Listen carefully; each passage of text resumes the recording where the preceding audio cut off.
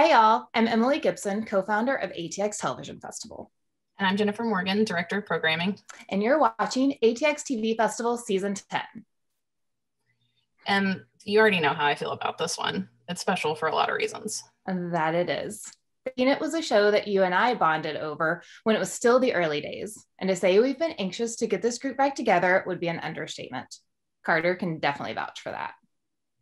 As a queer kid in the South who was obsessed with TV, there just were not a lot of shows like this when I was growing up.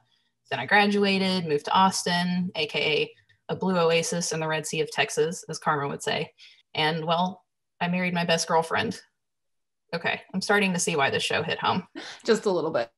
But now we're here, ready to celebrate the Amy's, Karmas, Shanes, and Laurens of the world with one of our personal favorite humans, executive producer and showrunner Carter Covington, in this amazing cast. And get a little nostalgic as we tend to do. We do indeed. One more thing before we get started. If you're watching the festival premiere of this panel right now, tweet about it. Hashtag faking it, hashtag TV for all. The algorithm is a thing and the internet makes things happen sometimes. So we here.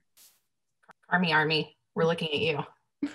So without further ado, let's get this reunion rolling and hand it over to our moderator and fellow Faking It fan, TV Guide Magazine's Jim Halterman. Hi, Jim. Hey, everybody. Thanks for having me for this conversation. I love it. We're so excited. Well, we're going to get out of the way and let you get started. All right. Thank you. Okay, so I'm going to start this panel with three little words. Let's be lesbians. That was spoken in the pilot episode in 2014 of the series that would make us laugh, wipe a few tears, and also educate us on a lot of things that maybe we didn't know much about. Of course, I'm talking about Faking It, which we're paying tribute to today during season 10 of the ATX Television Festival. Um, I'm Jim Halterman, West Coast Bureau Chief of TV Guide Magazine. And Faking It was a groundbreaking series that ran for three seasons on MTV. And when I rewatched some episodes recently, the biggest takeaway for me was how much I missed the series and also talking to all these wonderful people in front of and behind the camera. So it was a very quick yes when they asked me to moderate. So as as we heard, if you were watching this, hashtag TV for all and hashtag faking it. Now let's get the reunion going. First up, he helped develop the series when it came live on MTV. Please welcome executive producer Carter Covington. Hi, Jim. There he is. Hi. She brought bright eyed and optimistic Karma Ashcroft to life. Please welcome Katie Stevens. Hi. Hey, it worked. Pretending to be a lesbian started an unexpected floodgate of big changes for Karma's bestie, Amy Raudenfeld. Please welcome Rita Volk. There she is. Hi. And he was not only the most popular student at Hester High, but Shane Harvey was a welcome breath of fresh air for just embracing who he was 100%. Please welcome Michael Willett. Hello. There he is. I love it when that works and we all actually come up when we're supposed to and pop up on stage. it's like magic. Magic. Um, before we get going, there's somebody who could not join us today. Um, so Greg Sulkin actually recorded a little video for us. So let's play that right now. Throw it to Greg. Hi guys, it's Greg here. Just wanted to say hello. I'm so bummed I can't be there today. But first off, just want to say hello to the cast. I love you guys. I miss you guys. Uh, and secondly, just want to say hello to you guys. Thank you so much for supporting Faking It. Uh, I had an absolute absolute blast doing the show. Um, it was so much fun. Thank you, Mr. Carter Covington, for the opportunity. I definitely left that show a more educated human being, so thank you. Um, and thank you to all you guys out there for watching the show. It's a show I feel that needs to be put on every TV screen because I think it's important. Um, and just want to say I miss everybody involved with the show. Thank you guys. I love you guys and uh, have a very health, healthy and happy and safe rest of 2021. Oh, it's so sweet. Yay. I It love him. felt, it felt like he was here, didn't it? Um, Thanks, Greg. What a So- sweet. so Carter, let, let's let's start at the beginning. Um, talk about just developing the show, which which there's it was so groundbreaking watching it. But tell us about getting it off the ground and actually getting it on the air. Sure. Um, so, uh, faking it, um, MTV reached out to me and a couple of other writers uh, in early 2013 because um, they had been pitched this idea about two girls pretending to be lesbians in order to be cool, uh, in order for guys to like them and things like that. And they were looking to sort of they liked the idea but wanted to find new writers to redevelop it with. And um, I pitched them the idea that that this of Hester High and that these two girls uh, would um, go on this journey together where one of them would realize she had feelings for her best friend and it would get really complicated and MTV really liked that. And so I wrote it very quickly. I wrote the pilot very quickly. My son had just been born. I was like, ah, I'm exhausted. And, and, uh, and then they greenlit it, the pilot very quickly. We cast these wonderful people and it, we were in production that fall. I mean, it happened very, very fast. I think they were uh, excited and, and I'm still kind of pinching myself that uh, all that happened. It's kind of been magical, and it's definitely been. I miss it every day. I miss this show every day. I miss working with these amazingly talented people every day, and um, and I hope they remember it as fondly as I do. We Okay, do. Katie, I'll start. I'll start with you. What What do you remember about getting the role of Karma, and then just kind of understanding who she was right off the bat? Was it something you kind of got her right away? Um, no, I um, I remember going to the audition, and um, I had gotten the audition that day. I had friends in town. I got a call from my agent being like, "We have this audition for you. It's in two hours. If you could be memorized, that would be great." Um, I like borrowed a friend's shirt because mine ripped in the car, and it was like not right for Karma at all. um, and I just went in and I did the audition. And I remember I was sitting next to a really beautiful girl in the waiting room. And I was like, she's going to get this. She's beautiful and probably really talented. That person happened to be Rita. Um, and I remember I went in and the casting director was like, uh, can you hold on a second? And she Katie's went outside. yeah. She went outside and grabbed Carter and it was it was cool for me because i had been auditioning at that point for like three and a half years after having done american idol and everything that i had heard from people was that i don't have anything else on my resume so people don't trust that i could do the job. And carter was the first person who looked at me and saw me for me and my ability to be able to do the role. And he didn't know that I was on American Idol because I guess he didn't look at my resume until like the second or third audition. He asked me a question about it. Um, and then, yeah, I tested, and me and Rita both tested for Karma. And, you know, we had a really lovely moment. I remember in the audition room where we were like, you know, whoever is right for this is going to get it. Like, you're great and you're great. And, you know, whoever gets it is going to get it. It's not a reflection of our talent. And then I remember I was sweating with nerves. Rita does an impression of me in the waiting room. Yeah, this was. I mean, this was in the screen test, and she and I were just sit, sitting next to each other, and we're we're all really nervous. And there's like three of us in there with this other girl who's going in for Amy, who was just lovely. And um, and I remember we were looking at her, and she goes, "Is this your first time?" And we're both just like. Yeah, she's like, yeah, I've done a couple of these. you just turn to Katie, and she's just going like this, but just sweat marks on her shirt. I was, I was and we're like, it's gonna be okay. And it was this little black box room. I mean, it was tiny, it was hot. Um, at that point, we, I still thought I was going in for uh, for karma. And then this other girl who was auditioning for Amy came out and they were like already sending her home. So me and Rita looked at each other and we were like, oh my God, like they're making cuts already. Brutal. And then Rita got called out of the room and I was like, oh my God, what's happening? What's happening? Like full anxiety. And then she came back in and she was like, I'm reading for Amy. And they like gave her a second. And then her and I, you know, I think it was great that we had already formed some sort of rapport through the auditioning process together. Cause then we read for Karma and Amy together and it was comfortable and, you know, made me not nervous being in there with somebody that I felt familiar with um, and then it was magic and I, we found out maybe like an hour after we left and i got her phone number and that was it That's amazing. Oh, so romantic. it is. Re- was- Rita, did, when, once you took on the role of Amy, did you kind of get her right away? Because she definitely goes on a whole different journey than Karma does in the series. No, I think everyone would agree that we did not I did not get her right away. Um I think it was a very it was a hard subject. It was a touchy subject and um also, you know, I think going through the audition process you get a a sense over time of who you're going in for. And Amy was just kind of like thrown on me you know and and then i found out okay you're amy. And i was like okay and you know what does this mean? And i remember being worried about it because i you know it was a very i i knew it was going to be a very important character.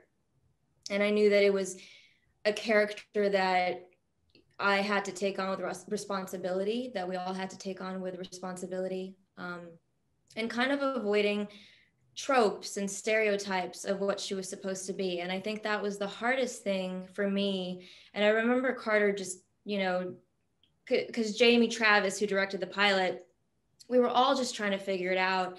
And this was my first time on a set. And this was my first, like, really real acting project. You know, I think it was everybody's. And the conversation just kind of went to, you know, forget that she's in love with a girl, forget that she's a girl. Just how would you act? How would you be if you fell in love with your best friend? And that was not reciprocated. Um, and just go off of that, you know, and just just find the heart of that, and then everything else will kind of fall into place. And it did. Um, it did. And one thing I'm really grateful for, I think, is that we I, I if I think if anything, if the show did anything, I, I think it was avoiding stereotypes. It it had heart. It it really did. And I and I think it just came from that of just play it with the feeling, you know, and everything will just kind of come into place. And and it did. Yeah. So it, it took a second, but hopefully I think I think we got there ultimately.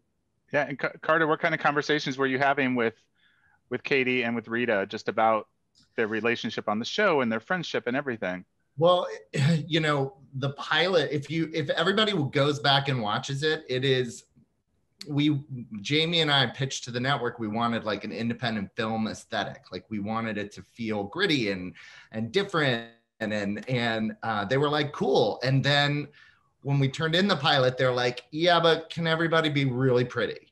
And um, so when they picked us up to series, that was kind of the only note, and they wanted us to reshoot the teaser. So if you go back and watch the pilot, I don't know if anybody has done that in a while. I just did. I just did. beginning of the pilot, it's like Rita's talking about how terrible she looks, and she's got these like gorgeous curls, and like they just look lovely.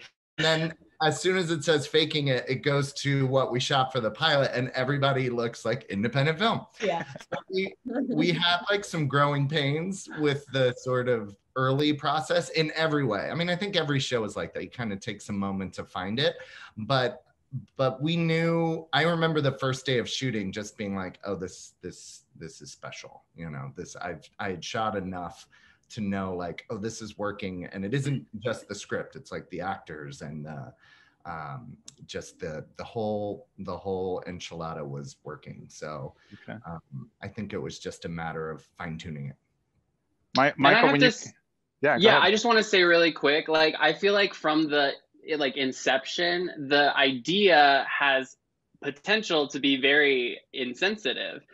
And it was very masterful, I think, of Carter and the, the writers to to maneuver in a way that was genuine and uh, sensitive and respectful. And so that was something we were always dealing with.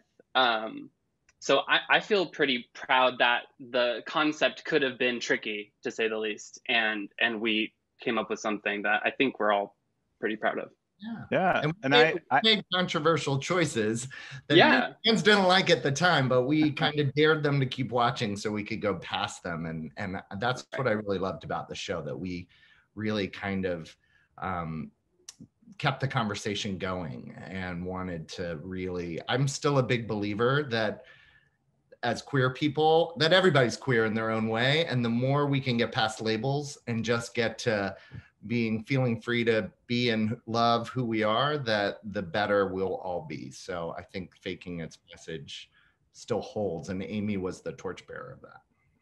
Yeah, I think I think I loved it so much being an older gay because it made me think back to when I was much younger and I didn't have shows like this. And I didn't see a character like Shane on TV. So seeing that, I was just like, wow, this is going to make such a big impact to the young people out there now. And Michael, when you came on as Shane, like Shane just owned who he was, which we didn't see a lot of, especially with the teenage character, because teenagers are supposed to be still figuring themselves out. But Shane was kind of kind of along his journey already but can you can you talk to that a little bit and how you understood him and you know just yeah happening? I yeah. I remember reading the breakdown for the character and it was like like the popular gay guy at school, which was rare because you don't see those words combined in that way together. the popular gay guy at high school, like that's not really a thing generally. And so i was like oh this is cool. Like this is there was like a lot of wish fulfillment i think for me.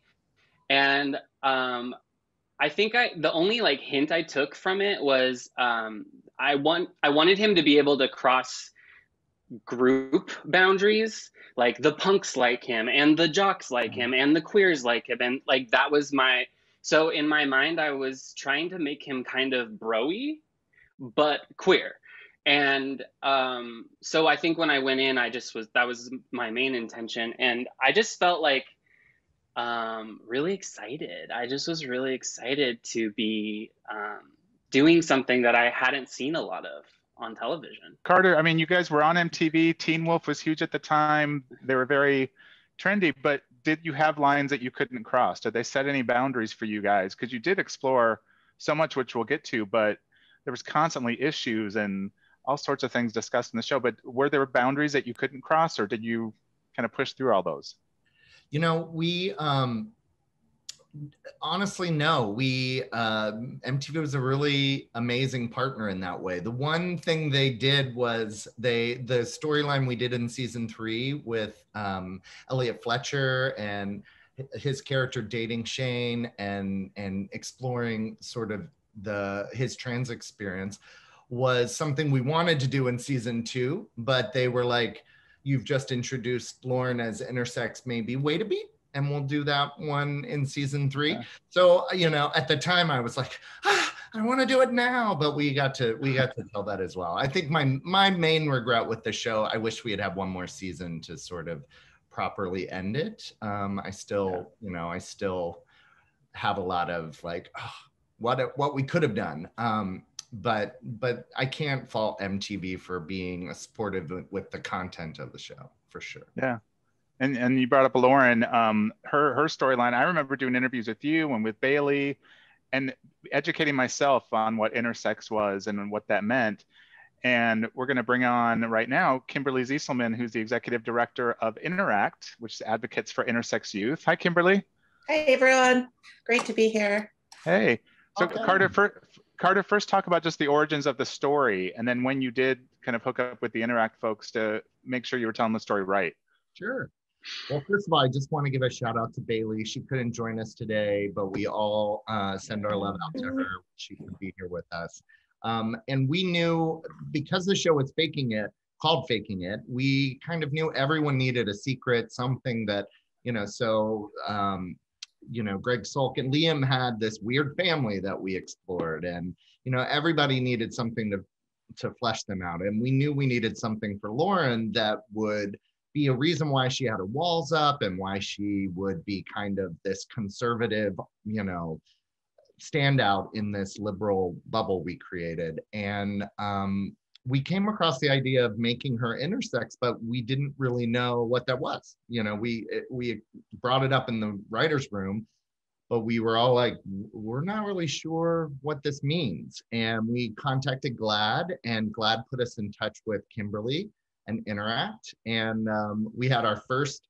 I'll never forget. We had our first uh, conference call, and we were saying, Kimberly, can you share with us what what being intersex means and what is it and and what are what are some of the experiences that intersex people have? And as she was sharing her experience, we were just like, check, check, check. This all works so well for Lauren.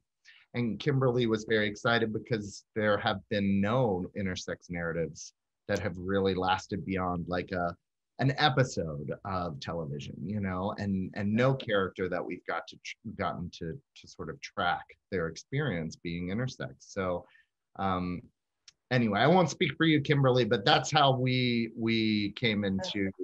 And Kimberly's become a good, very close friend of mine, and oh, I do. And uh, and we're getting more intersex narratives on TV. It's happening. That's great. So, Kimberly, what was the most important thing for you to make sure it was conveyed in the story and in the character?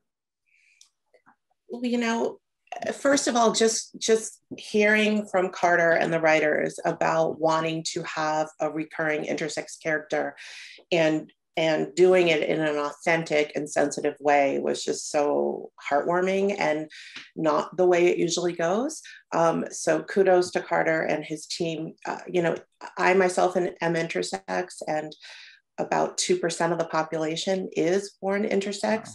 which is really the same as natural redheads or people with green eyes. But because our community suffers from what I call this epidemic of invisibility, not only are intersex kids often erased by doctors as surgically erased by doctors as children, but also historically we've been missing from books and film and TV. And I will never forget watching the episodes. You know, I, I helped a little bit in some of our intersex youth, as that's a part of Interact group, helped, um, you know, edit scripts and review things and, and give advice. Honestly, we didn't have to do that much. The writers were fantastic. They heard it and they got it the first time. But I'll never forget watching somebody like me on TV for the first time. So, like you were referring to, right, as a young gay man, um, it really was for myself and for so many intersex people. And I heard from many of them of all ages, um, and particularly young people who are just on the cusp of like feeling like they want to be out and proud and authentic, but still living in this world where they look around and they don't see anybody like them. So I can't say enough of, of what a milestone, a historic milestone faking it was for the intersex community and for intersex representation. I remember talking to Bailey during that time, and she was so on board and wanted to know as much as she could. Yeah. Ricardo, how, how did you work with her through that to play a lot of those scenes? Because they're sensitive scenes, but you guys treat it with such respect, which you did across the board with everything. But go ahead and talk about that a little bit. Sure. Well, we um, very early on, and this was in, in season one, uh, we came out with several other intersex people that we had at our writers room we spoke for the day we had breakfast with bailey so she could meet them and create a relationship with them so she could reach out with any questions she had as we were working through the scripts. And um, and i've got to say bailey you know in terms of an an actor who like she signed up for the role and had no idea mid season one i was like okay here's where we're going with it. And she was like i'm on board 100% i get this. I'm we're gonna we're gonna we're gonna change the world. And uh, and she she never once had any hesitation about diving headfirst into that role and and it's so great because rewatching the pilot a couple of days ago you just think oh she's the mean girl mm-hmm. and that's who she's going to be but just introducing that made her gave her so many other layers and really educated the audience too um, we, we, Kimberly and I were on pins and needles. We all were on pins and needles that first season because we hadn't gotten picked up, and we were like, "Oh, please let us get picked up after these eight episodes." And MTV had told us like we're we we are into the intersex storyline, but let's introduce it at the beginning of season two. Okay. And so we had done all this planning and we laid all these like kind of hints, but we didn't know if we'd get to tell it until uh, the show got picked up. Okay, Kimberly, how how has it been in the land of television as far as intersex stories and characters? Have have you seen more, or is it at least getting better? Unfortunately, no, I haven't seen more since faking it. What I can say though is there are currently several several things percolating, which mm-hmm. is great. Um, nothing that I'm aware of has aired and you know since faking it with an intersex recurring character but there's increased interest and i i know of a couple of um, tv projects in development now one that's actually filming that has an intersex recurring character so you know it's starting to happen um, and we're we're going to see that it keeps happening. Good. I, I, always say to people, if you don't see the stories about you on TV, write them yourself if you can, or find a writer friend and tell them your stories and get them out there because it's such a memorable part of faking it. When you think to all the major stories, that's always one of the first ones that comes up because it was so important. So thank you guys for doing that. And go ahead, Carter. Kimberly, a big plug. She wrote a memoir called XOXY about her own story. Nice. Uh, real, Amazing. Uh, finding her intersex identity, and it is powerful. So everyone, Thanks, Carter. Bye. I love it. Well, Kimberly, thanks for the work that you do, and keep up the good work. And everybody, look for her memoir. Thank you. Kimberly. All right, thanks for joining us. Bye, everybody. Bye. Thank you. Um, I want to go back. We, you guys talked about labels a little bit, and I remember that also being a big part of the show because once Amy realizes she's in love with Karma, you kind of assume, oh, she's a lesbian, and it's talked about in the show. You guys put in a lot of the dialogue, but the labeling thing was a big deal with the writers' room and the characters. Can you talk about that a little bit and why that was so important, not to just put her in a box as a lesbian or even saying that? Yeah. Well, I think we Rita and I talked many times about like this was a character going on a journey, and we wanted to give her the time to go on that journey. And you know, it it I know that it frustrated people. The thing about queer TV is we there's not enough of it that we don't project our stuff onto it. And so I knew that like for every for every woman who identified as a lesbian and wanted Amy to take that la- label, there was probably another girl who identified as bisexual or just felt that they were also attracted to women who didn't have a label, you know. So we were in a space where the character really was trying to find herself and we wanted to let her be in that space. And I think for a lot of fans, they were like eager for to claim Amy. You know there's a lot of people who wanted her to kind of land where they were.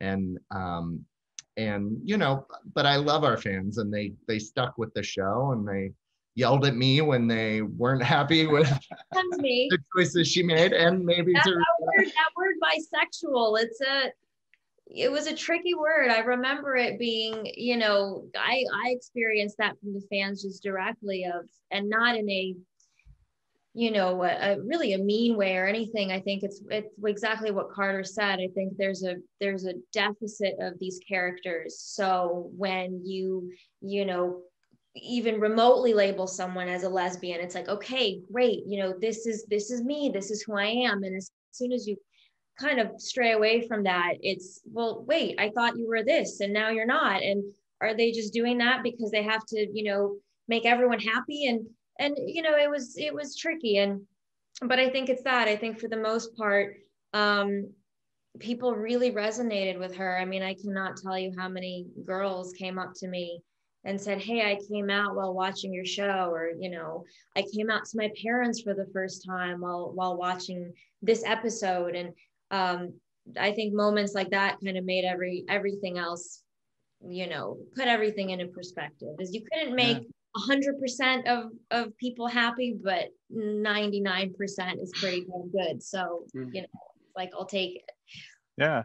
Katie what were you hearing from fans because karma didn't have the sexual identity story but there was definitely a lot going on in her life as well. But what what did you hear from fans about her character and what she was doing yeah, I mean, I think that for a little while, I, I got a lot of the fans who were, you know, upset that karma was hurting Amy. And there were a lot of times where me as Katie, I was like so sensitive to it. And I would have conversations with Carter. And, you know, I knew that it was just like a part of the storyline that had to happen. But, you know, I also had a lot of people resonate with karma being that you know she didn't she also didn't know how to label herself we had so many scenes like the scene in the pool where she's drunk but she kisses Amy and you see that there are actual feelings there, but she's scared of them. She doesn't really know what they mean. And so I think that that's something that a lot of people resonated with. And, you know, even to this day, I still get people that say that the show is their favorite show and, you know, how they felt so represented by everybody on the show. Um, but, you know, the writers were so smart in terms of like Carter said, giving every single person something that was a secret. And I think that even though it, it wasn't as prominent as as amy's journey in terms of finding her sexuality i think that karma was also trying to find that in a different way um, than amy. And michael what were you hearing from fans? Or did you get marriage proposals? What were you what were you hearing from the guys out there or the gals too um i don't I think people liked it. I got a lot of love. I feel like people were always really like respectful, which I really appreciated. there was no nothing crazy or inappropriate, so that's good. But um, I was sorry, I, I'm a little distracted because I was thinking about how Shane's uh, like his, what it was, what was his secret, and I was thinking about his journey, and I was like, oh, he like had the illusion that he was so free and like whatever goes and then yet realized that he was rigid in his own beliefs about sexuality and orientation and such. So i think that that was kind of fun. But um, yeah i think people really liked it. I remember people complaining a couple times just because it didn't go where they wanted it to go and or, or that we weren't perfect. I think that that was a big one that we like our characters weren't doing the right thing all the time like we weren't valiant or righteous. And i think that that's not interesting and that's not human. Like people don't just do the right things all the time. And um, so i thought that was fun to play like the the the bad parts or like this you know the ugly parts of being human. Like i think that that was really fun. Especially playing high school. High school is such a messy time but i think that that was something that as you get older and you know we're all in our late 20s early 30s now it's it's interesting that like you realize that like wow okay your teens and your like formative years are messy for one reason but like that mess doesn't stop. It just like changes into a different new mess. So that's why like people who watch the show, you know, so many people would come up to me and be like, you know, I'm not really the demographic. And I always was like, I don't really think there is a demographic for this. I think that this right. is universal, like messiness and messing up and not tying those things in like a pretty little bow, like like Michael said, is human and I think is really relatable for people of all ages. Yeah, and just because it takes place in high school doesn't limit the themes and the morals and this I mean, I think we all realize that everywhere you go, there's some like high school dynamic playing out. I'm gonna be honest. By the time, by the third season, it was like they were all twenty somethings. There was, and Lauren had her own apartment that Liam was living in. Was like, Three ways. They were flying on private jets. We're, we're going to bring some other cast members on in a second, but Carter, I wanted to ask you, just going off on that part of the conversation, how, how did you manage all the expectations? Because this show came out when Twitter was really becoming a thing and people could comment on things the minutes things were airing. How did you kind of navigate trying to keep everybody happy, but also just trying to tell your story and what you and the writers were trying to do? It was, it, I think it would be more challenging now, quite honestly. I do, I do think we kind of um, debuted at a time before uh, I think probably our original premise would have been like blasted out before the show even aired. I think it, it was it was a challenging premise, and I knew that. We all knew it would kind of get attention. Um, but what I think was great about the show was because there was so much um, there was so much representation. It bought us the ability to tell a lot of messy stories didn't have to be perfect because everyone knew the show had so much rep- representation going on. And I think that that is the difference between token representation, where it has to be mm-hmm. perfect because it's the only queer character, the only, you know, only person from from a minority group you you need to tell that story perfectly and you have a lot more but because we had so many shades of representation in the show i think it enabled us to have messier characters and it was a lot more I, I know for for me and the writers and the actors i think we we were able to kind of dig in in in a fun in deeper ways. Well, in season two gave you a much broader scope because you had more episodes and you're able to introduce some new characters, and we have a couple of them here today. First up, we'll bring on Keith Powers, who played Theo. Yay, Keith! There he is. What's up, y'all? And we also have Yvette Monreal, who played Reagan. So Carter, first talk about season two a little bit because you could open things up a little more because the, the, you know the show's established, you know who the characters are, but then you can really bring in these new characters. How did you go about doing that?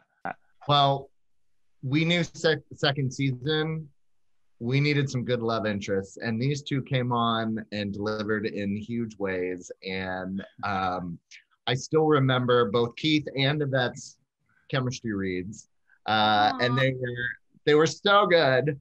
Um, but you know, first we wanted to give Lauren, uh, we wanted to bring a new character in that could be sort of someone Lauren could be interested in, so we could see a different side of her. And just as we were learning that she was intersex, it would complicate kind of her her relationship life, and that's where Theo came in. Um, and then for uh, we knew we needed to give Amy a character she could really invest in, so that she could explore her attraction to women and how that would then upset karma and um, and Yvette came along and both both roles we were like we've got to get these right. We got to get the right chemistry. And uh, I was so happy that that it worked so well, and um, we were we were sad that they ever had to leave the show. well, Yvette, talk about playing Reagan and connecting with Amy because it was it was a really nice chemistry on screen, but how do you, I, I don't know if you can create that or if it's just there, but can you talk about working with Rita? Yeah, I remember it's so funny. Uh, Katie, you said something similar to how I was feeling uh, there was like 14 it felt like 14 girls i was testing against at the final round and i was like oh my gosh i get it you're you know you're trying to get it right but um i remember going in with rita and she was there and i remember like at the end of one of the sides it said that we had a kiss and i was like oh my gosh rita like how do you feel about that? You're like, if it happens, it happens. Do you remember saying that? And I was like, oh my God, is it gonna happen? I do. Oh, the Such a tease. Yeah, so, so yeah. yeah, so the, we did the sides. If and, it happens, and, it happens. Uh, that was pressure. Don't ever say that. yeah, I was. Oh no! I thought I was making me feel better. I don't know. I was all new to me. Rita's like, what if it doesn't happen? Rita's like, if I'm into you, I'll make out with you. Like, into me or not? I get tell. So, um, no, but the it, luckily it went really smooth, and it I felt really comfortable with her people were laughing. Yeah, it happened. It ended up happening, by the way. And I remember the I was like this. being like, "Did you get that?" Not with everyone. Because uh, that's if I could have been a fly on the everyone. wall.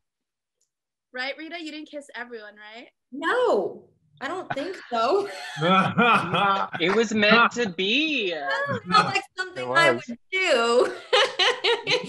no, I didn't. I was I, I think I just I I wanted you know and this is I think everyone we were so the show was so near and dear to us that I think we all just wanted to give our best and do our best. And and all of these chemistry reads were an extension of that. And Yvette is just I mean she's just the kindest cutest thing. And I I miss you girl. I love you. She really is just the kindest human as I was saying, yeah, Carter was just really kind and he pulled me into a room once I booked the role and talked about the changes we were going to make and talked a little bit about the character and what she means to Amy and everything. And he was just the sweetest person. So I was really, I felt so lucky. It was one of my first roles and I had nerves going and I felt pressure, but it was really fun and fast paced. And, and these people right here made it so much more fun so, so Yvette, yeah. since every character has to have a secret on faking it, what was your character's secret? Remind us.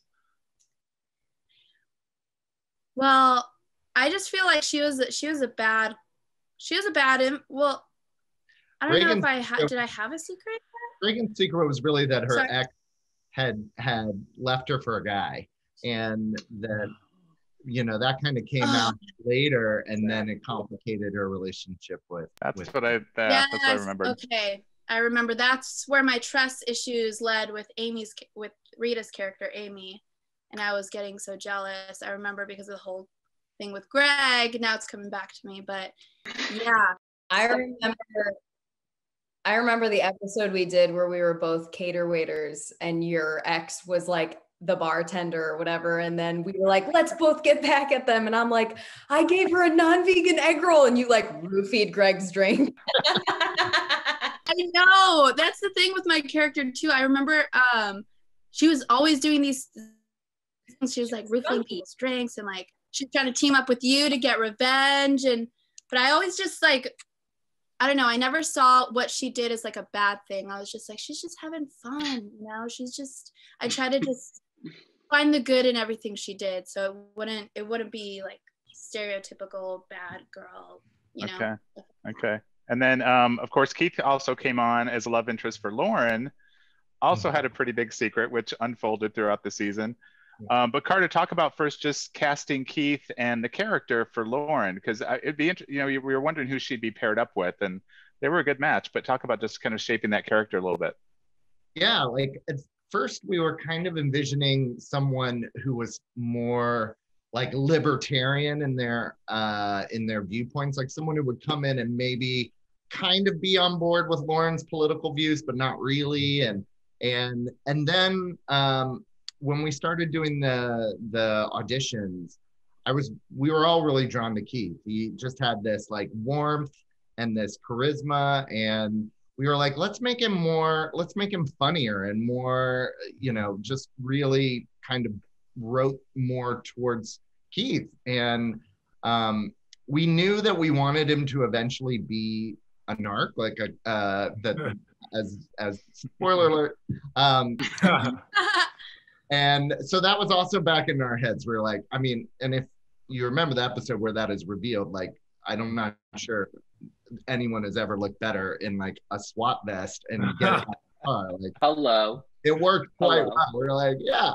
Um, but but he one thing that we just thought was so interesting too was he he and uh, Bailey had instant chemistry, even though the fact that she was like tiny and he was super tall, like it, it just it worked it also made us chuckle and um and you know the two of them really brought alive this kind of ridiculous like romance of a narc girl in high school like It's it doesn't funny. make a lot of sense if you think about it but they made it work It was Uh, it was funny. Don't that- think about it. It's funny that you brought up the height difference because I remember when we had to shoot the scene. Um, I think it was when I like went to boxing. Like Theo went went to do like a boxing class, and I remember um, uh, uh, uh, Lauren Lauren uh, goes to kiss Theo in the boxing room, and I think I remember you making her like stand up on something and kiss me, and I thought that was super funny, but it was dope. Like it was such a dope thing, and I remember I remember doing it, and at the time, like I was so green that I remember I remember Bailey was married in real life, and I remember just feeling nervous, like, man, I just hope I just, you know, don't come off disrespectful to her husband. and that was just me being super green. I was like, dude, like I was really nervous that day about that kiss. But I think I swear when you guys made her stand up, I think it was the bench, when you guys made her stand up on the bench, that loosened up everything for me because it reminded me that like that was one thing about faking it that I really loved and I really miss is how fun and open the set was. You know what I'm saying? And you just you guys always made me feel like I was at home from the moment I came in and did the audition with Greg. Like you guys took me in with open arms. I couldn't like at the time I was like I was like, okay, I, I really think I got a shot. Like it felt like that was like a good room, but in the back of my head, I was also like, you know, my anxiety. I was just like, nah, it's no way. It's no way. That just seemed like too good to be true.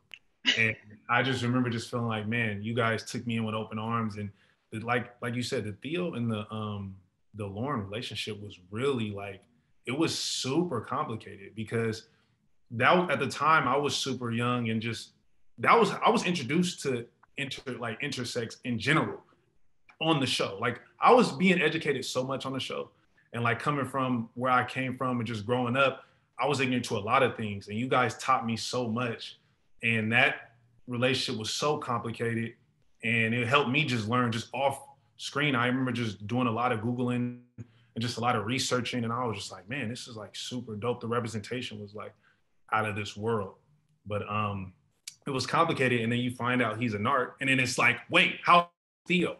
Like that was the thing. It was like, yo, Yes. what's going on? like I, it was just so many things, but man, it was just. I mean, that's what made it so fun, and it, it was like so spontaneous coming to work because you just never knew what was coming up.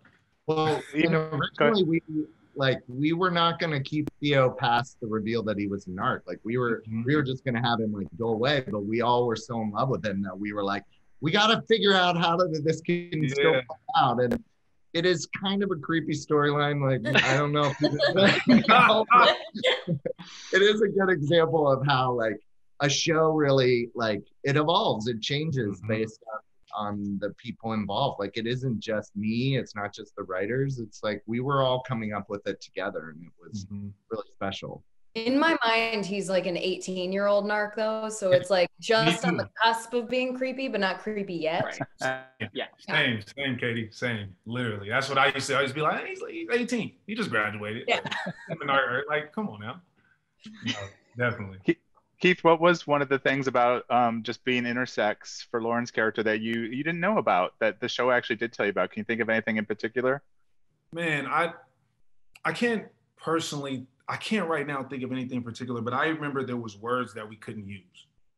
And I remember just I literally crossed those out of my mind so much that I can't even remember the words right now, and I don't want to remember. But I just remember I remember when it when it came to um, talking about someone who was intersex, I just remember there were certain words you couldn't use, and I remember just being like, "Oh, okay, like, dang, I, I want to learn more." Um, but that that's that was the main thing that stuck with me because my whole thing was just about, you know, I was ignorant to a lot of things, and I was just like, I never want to, I never want to offend someone, you know, and, and offend someone because I am ignorant to what's going on in you know in their community, et cetera. So I think that was the the thing that stood out to me most, and um, yeah, yeah.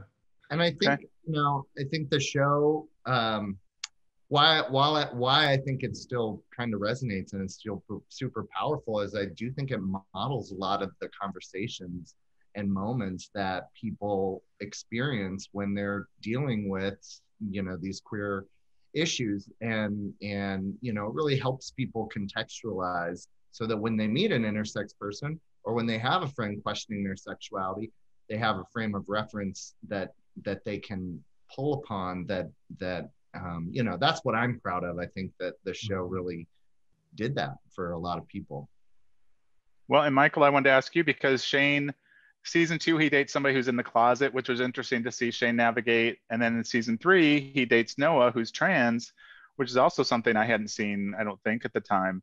Um, can you talk about both of those stories and you know, you playing the role, and that maybe you learned some things too, of, you know, that Shane was going through. Uh, Shane's love life is a revolving door, that is for sure.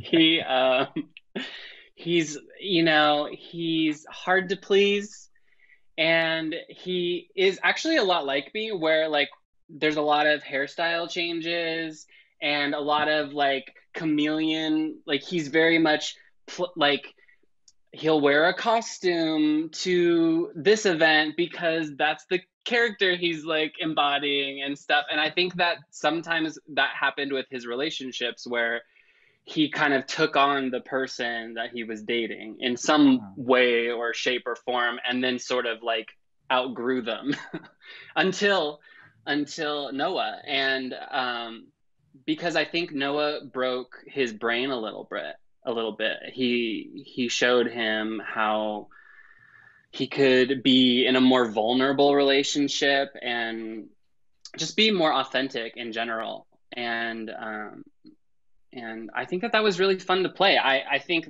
uh, it was it was fun to have a lot of different versions of Shane. You know, he's very um, multi-dimensional, which is rare again for a gay character. They're kind of like one note usually. And anyway so yeah but um, those relationships were very different and i think he learned a lot of different things in them. Car- Carter, let's talk about Noah a little bit because I'm guessing just like you talked to Kimberly at Interact, did you talk to GLAAD about portraying a trans character or how did that go about?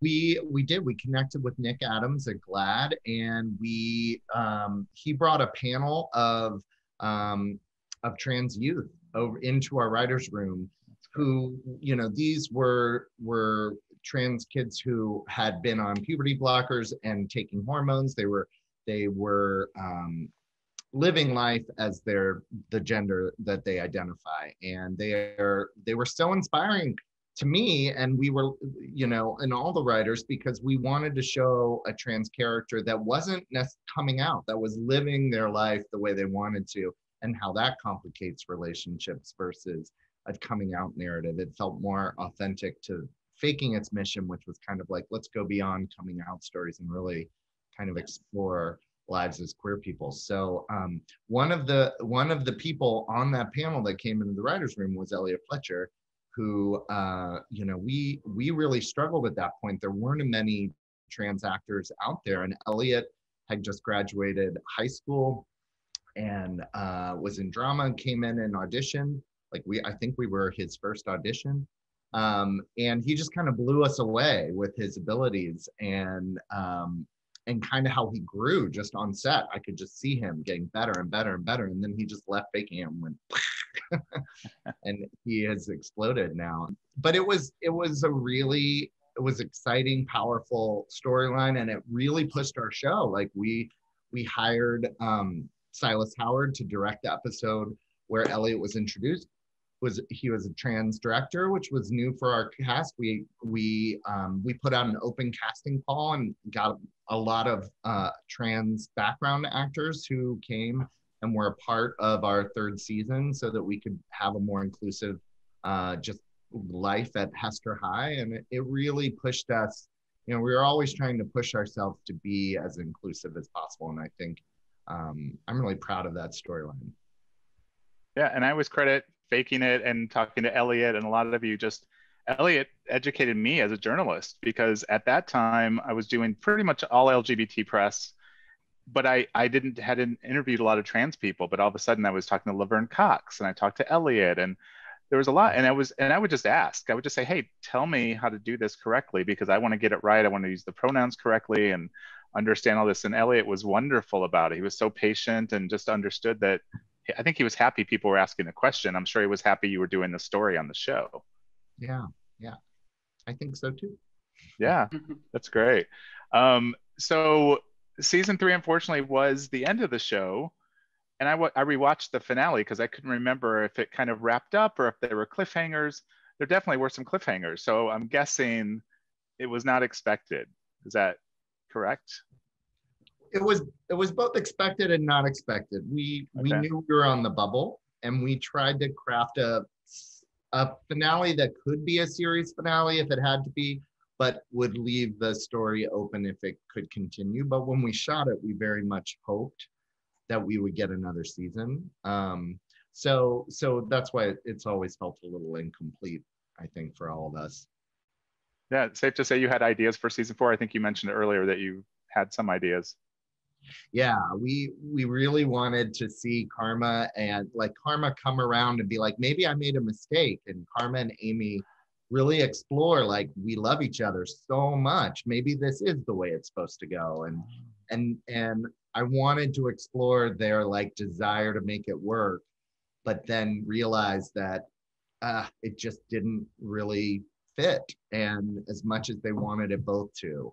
Because i always felt like that would be the way that they could move on and really the thing i i always wanted the lodestar was i just never want Karma and amy's friendship to to go away. Like I didn't want the end of this series to be Karma and Amy drift off in different directions. Like yeah. I wanted it to be like we get past this and we realize that our love for each other is never going to die. Um, so I would have liked to have been able to kind of show that, and I think um, you know we were excited to tell kind of we were really building in Lauren and Liam like I was excited to explore like these two characters in a relationship. We felt like they could really open each other up in interesting ways, and yeah. And, you know, I really wanted to see Shane kind of really, you know, we were excited to see where his his storyline with Noah went. So there were a lot of things that that we didn't get to explore, but um maybe one day. Should we axe it out now? Should we what? Should we axe it out now? We have some of the sure. yeah. Should we write a scene?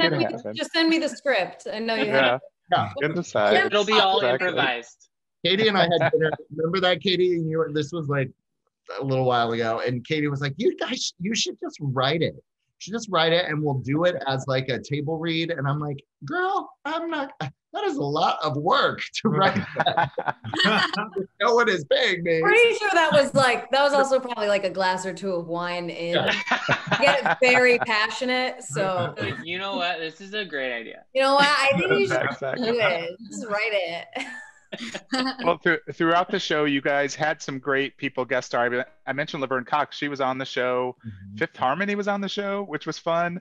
Yeah. Were those were those were those people that came to you guys like they knew the show and wanted to be on it, or was it an MTV connection? Carter, how did that? How did some of those come about? Laverne was just inspired idea from our line producer. She said, "Oh, you know who'd be great for this? Laverne Cox." And she she'd never been offered a role that wasn't a trans specific role, so she was super excited, and she really brought it and made that episode so great. Um, and then um, uh, the Fifth Harmony thing was all MTV. Like I'd never heard of them, so I had no had no. I, was like, "Oh, okay." you know, I'm also, you know, I continue, I'm in my late 40s and still writing things with teenagers in mind. So, like, sometimes I have to be told what's cool. But they, were like, they were like, they're coming. And who knew? Who knew that they were such a force? Like, And it- well, and of course, you you had some singers in the cast. Of course, Katie and Michael, and they did get to sing on the show.